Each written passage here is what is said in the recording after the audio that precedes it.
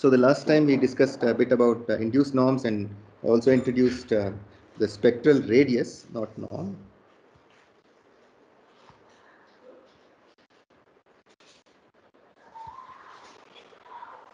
And today we will continue this discussion about the spectral radius.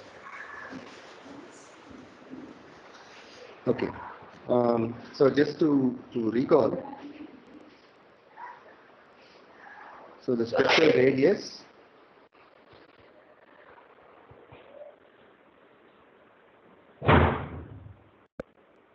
rho of A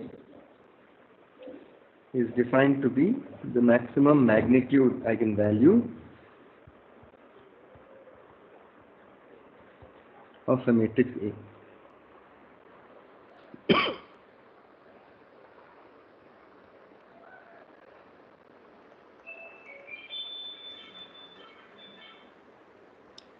okay. And we also saw that the spectral radius is a lower bound on any matrix norm. So uh, if is a matrix norm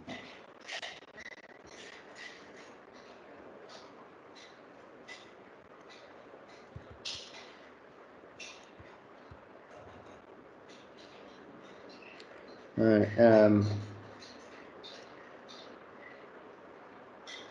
rho of A is less than or equal to norm of A is true for any matrix A. And in fact, if you uh, go back and look at the proof, um, yeah.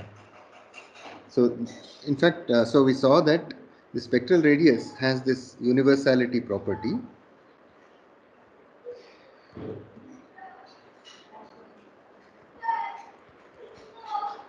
that regardless of which matrix norm you choose, um, if you evaluate the norm of a matrix A, we are to the spectral radius of that matrix A. However, the spectral radius is uh, not a norm.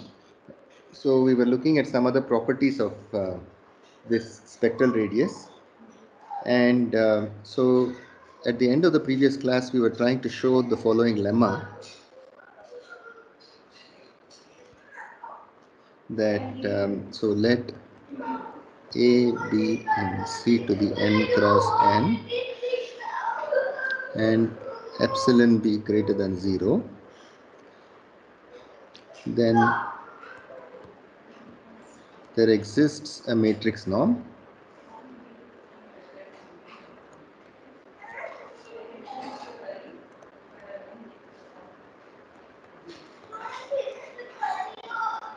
such that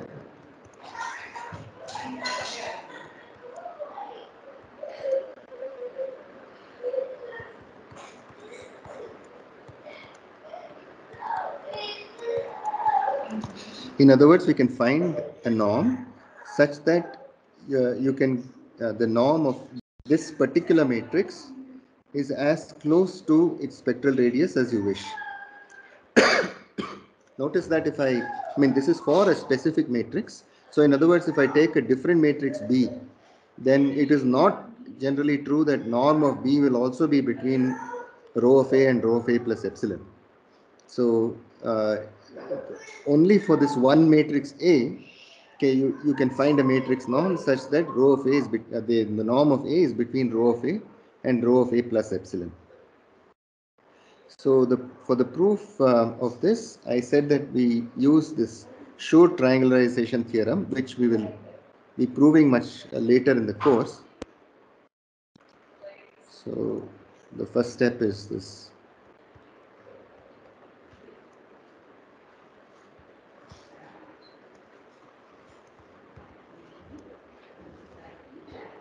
which says that any matrix A um,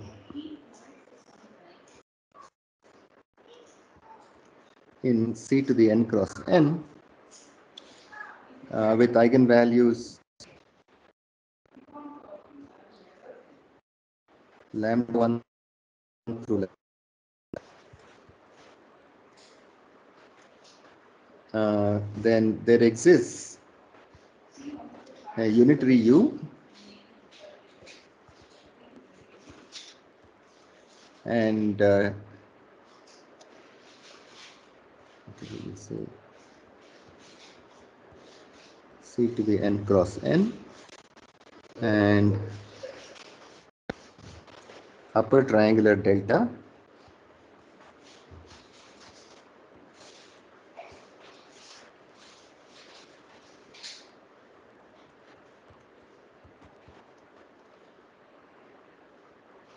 with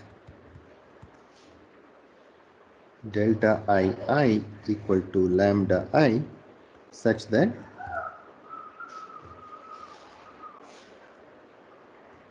a is equal to u Hermitian delta u.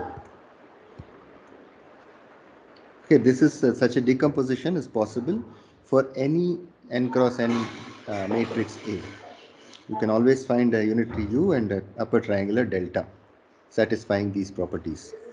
Now, um, we will set dt to be the matrix with t t squared up to t power n on the diagonal and zeros everywhere else.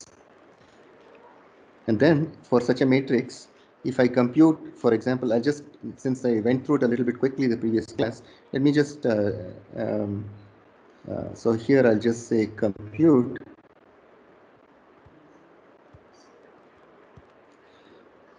dt delta dt inverse, where delta is the upper triangular matrix you get by doing the Schur decomposition of this matrix A. So since I went through it a little bit quickly in the previous class, let me just uh, take a 3 cross 3 example and just show you how this works out. So dt is t t squared t cube times this delta matrix will have lambda 1, lambda 2 and lambda 3 on the diagonal. It's upper triangular so it will have zeros below the diagonal and let's say it has delta 1, delta 1, 3 and delta 2, 3 here. And then D for a diagonal matrix when you invert it all the diagonal entries get inverted so this T inverse T to the minus 2 and T to the minus 3 and zeros everywhere else. So if I do this, this is equal to, I'll multiply these two first. So it is T, T squared, T cube times, if you multiply this, you'll get lambda 1 T inverse and this will be delta 1 2 T to the minus 2 and delta 1 3 t to the minus 3 and uh, this entry will be 0 and lambda 2 t to the minus 2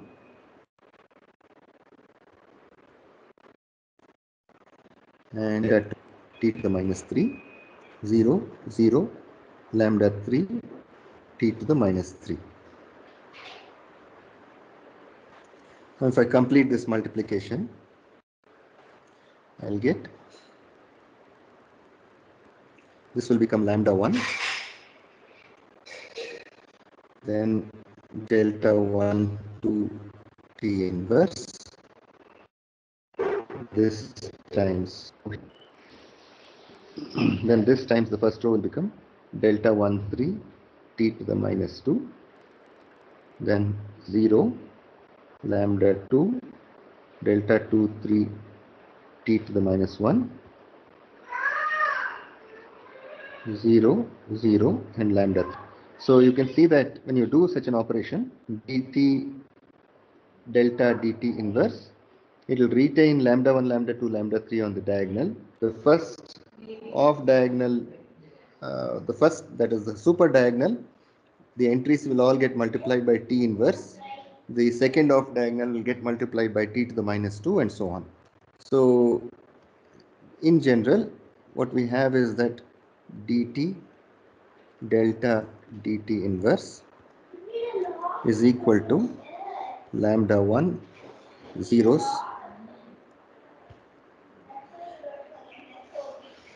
T inverse delta 1 2 all the way up to T to the minus n minus 1 delta 1 n.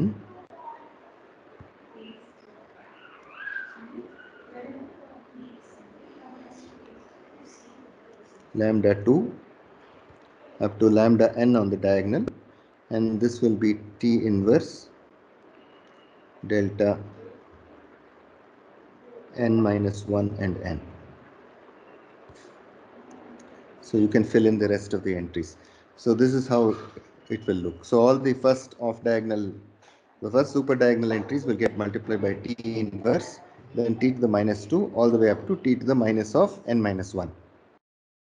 So basically if I choose t very large, all these off diagonal terms can be made small enough. So specifically what we'll do is um, we'll choose t large enough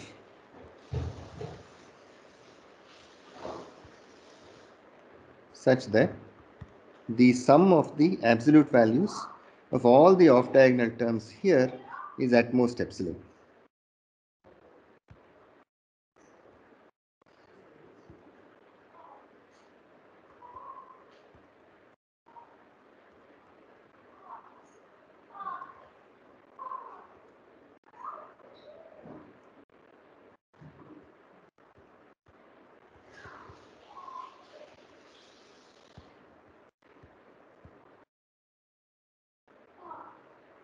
Is less than or equal to epsilon.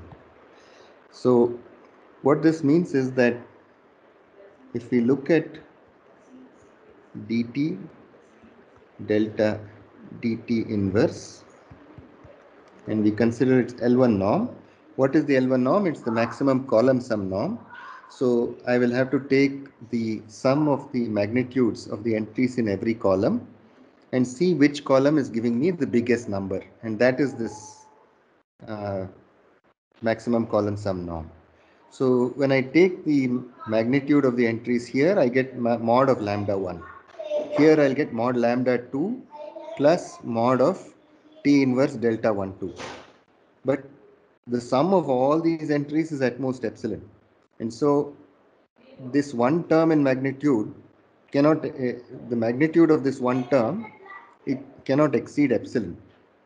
Okay, so that is also going to be smaller than epsilon. So the this column, this the the L1 norm of this column can be at most mod of lambda 2 plus epsilon. The L1 norm of this column also can be at most mod of lambda 3 plus epsilon because this is the sum of the magnitudes of just two terms whereas we've already made sure that the sum of the magnitudes of all these terms is at most epsilon. So this quantity here will be at most um, just a second. Huh. And the maximum of all these lambdas is rho of A by definition. And so this is going to be at most rho of A plus epsilon. In other words, one of these columns is going to have the largest eigenvalue in magnitude that largest eigenvalue plus the sum of all these terms together in magnitude is an upper bound on the maximum column sum norm of dt delta dt inverse. And so this is this is true. So so that was the kind of um, key step in the proof. And so now uh, the rest of it is kind of connecting the dots here. So if we define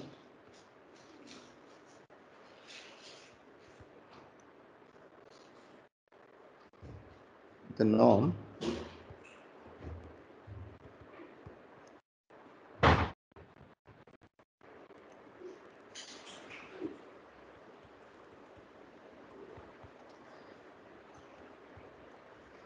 So we'll consider dt u b u Hermitian dt inverse and maximum column sum. So we've already seen that if I take any invertible matrix and uh, I consider S inverse AS, uh, where uh, the norm of S inverse AS, uh, that is also an, a, an, a valid norm. So this is a valid matrix norm um, so uh, L1, this uh, maximum column sum norm is a is a matrix norm, and this matrix dt or U Hermitian dt inverse this matrix is an invertible matrix. So this is in fact a valid norm. Okay, so this is what I'll define. Then, um, uh, so, the, so can the, you uh, repeat? Hello, sir. Hold on one second. Huh? Okay, sir. Volume is too low on my machine. Okay, yeah. Please repeat your question. Uh, sir, can you please repeat uh, why it is valid norm? So we have already seen that. Okay, first of all, is a norm.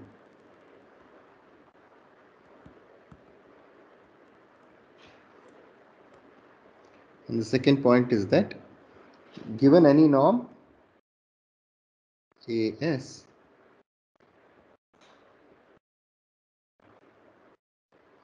S inverse AS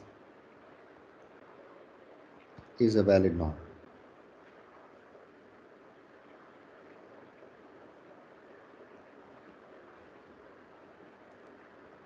The only requirement is that S should be non-singular.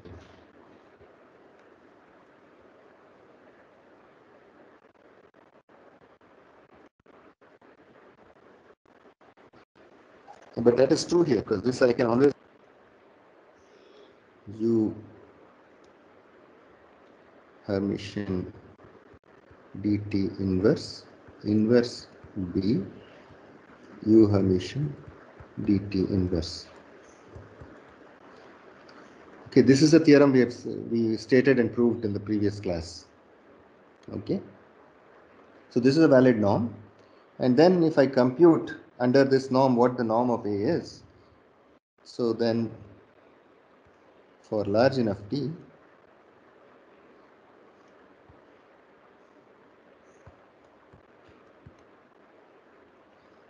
we have um, norm of A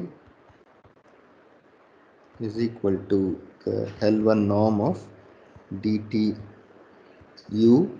Now A itself I can write as u Hermitian delta u. This equals A u Hermitian dt inverse the maximum column sum norm of this but u u Hermitian and u U Hermitian are both the identity matrix.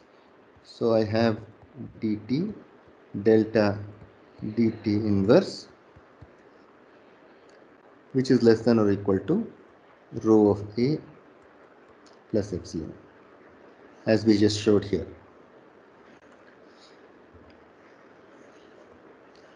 And of course, uh, for any norm, we, we've already seen that uh, For any norm, this rho of A is a lower bound on the norm. Done. I mean, that's all we wanted to show, which is that the norm of A is between rho of A and rho of A plus epsilon. These are the two things we wanted to show.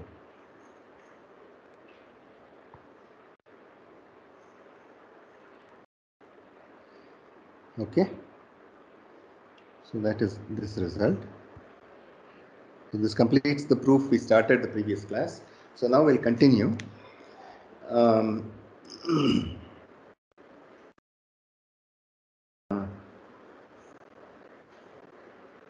okay so just one remark is that what this result shows is that rho of a is um, um, essentially the greatest lower bound for the values of all matrix norms of, so the value of all matrix norms of A. In other words, uh, I can I can find a norm such that the norm of A is as close to rho of A as I as I wish, and so there's no way anybody else can find some other uh, you know zeta of A or something which is bigger than rho of A, and such that no matter which norm of A I choose to evaluate, that will still be bigger than zeta of A the rho of A is the biggest uh, lower bound I can find on any possible matrix uh, norm of A.